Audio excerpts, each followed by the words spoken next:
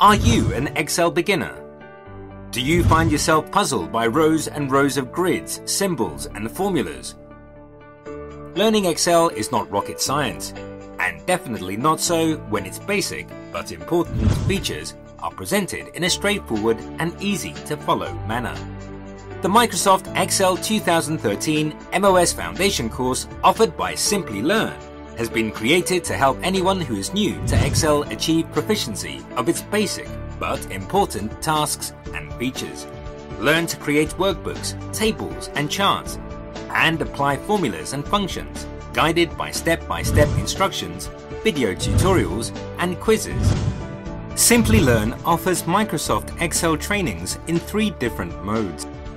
Online training, instructor-led live training, and physical classroom training. The course comprises 53 demos with example on application of concept, 6 hours of high quality e-learning content, scenario and case studies included. We also provide 24 by 7 customer support. Simplilearn's course ensures better learning using a learning framework that is proven to deliver results. Understand the topics. Apply knowledge.